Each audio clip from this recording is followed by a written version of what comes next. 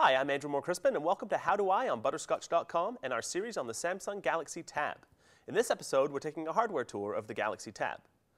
Now, as you can see, it's just starting to boot up, so we get a bit of an idea of the splash screen. It takes probably about uh, 20 seconds, say, to actually bring us into the home screen where we can start doing things.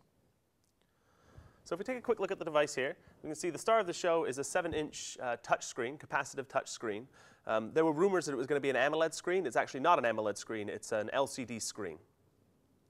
Across the bottom of the device, we have the pretty standard um, hardware but soft touch buttons. So we have a settings and menu button, we have a home button, we have a back button, and a search button. Now these will uh, perform different tasks depending which application you're in we take a look at the side of the device, we have a microphone in port here. On the bottom of the device, we have a speaker and a 30-pin connector.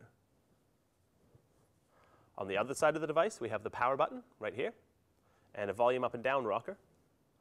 We also have a slot for the micro SD card and a slot for our SIM card. It's a regular format, uh, not a micro SIM, a regular format SIM card. The uh, SD card that we're using here is a micro SD card.